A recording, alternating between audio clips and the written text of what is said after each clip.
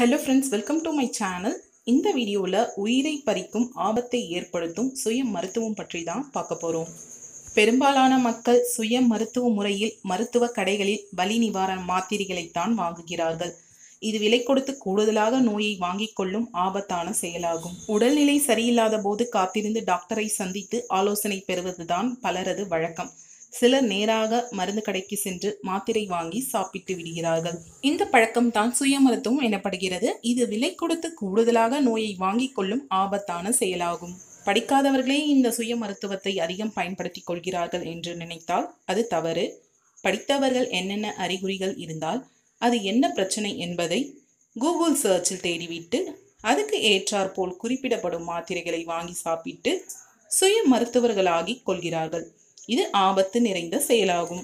பெரும்பாலான மக்கள் சுய மருத்துவ முறையில் மருந்து கடைகளில் வலி நிவாரண மாத்திரைகளை தான் வாங்குகிறார்கள். டாக்டரின் பரிந்துரை இல்லாமல் குறிப்பிட்ட வகை வலி நிவாரண மாத்திரைகளை தொடர்ந்து சாப்பிட்டால் சிறுநீரக செயல்பாடு குறைதல் இதய பாதிப்புகள் ஏற்படுதல் அல்சர் போன்றவை ஏற்படும். வழக்கமாக ஏற்படும் ஜலதோஷம் என்றால் ஒரு வாரம் வரை தொந்தரவு தந்துவிட்டு அதுவாக குணமாகிவிடும். ஆனால் உடனடியாக அதிலிருந்து மீள வேண்டும் என்று நினைத்து பலர் மருந்து கடைகளுக்கு சென்று அறிகுறிகளை கூறி சுயமாக மருந்துகளை வாங்கி சாப்பிடுகிறார்கள். இதில் குறிப்பிடத்தக்க விஷயம் என்னவென்றால் அவர்கள் பொருத்தமற்ற மாத்திரைகளை சாப்பிட்டு விட்டால் அது உடலில் ஆன்டிபயோட்டிக்ஸ் ரெசிடென்சி உருவாக்கிவிடும்.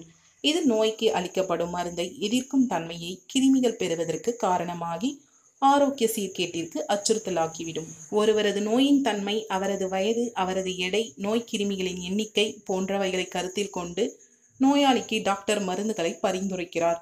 அவரால் தான் அந்த நோயாளிகளுக்கு எந்த மருந்து எந்த அளவுக்கு எத்தனை நாட்களுக்கு சாப்பிட வேண்டும் என்பதை தீர்மானிக்க முடியும். இதில் குறிப்பிடத்தக்க விஷயம் என்னவென்றால் டாக்டர் ஐந்து நாட்களுக்கு மாத்திரைகளை எழுதி கொடுத்தால் சிலர் மூன்று நாட்கள் மட்டுமே வாங்கிக் கொள்கிறார்கள். மூன்று நாட்கள் சாப்பிட்டதும் அவர்களுக்கு நோய் குணமானது போல் தோன்றும். முழு நிவாரணம் கிடைத்து விட்டதாக நம்பிவிடுகிறார்கள் உண்மையில் அந்த நோய் கிருமிகள் முழுவதுமாக அழிய ஐந்து நாட்களும் குறிப்பிட்ட நேரங்களில் மாத்திரைகள் எடுத்தாக வேண்டும்.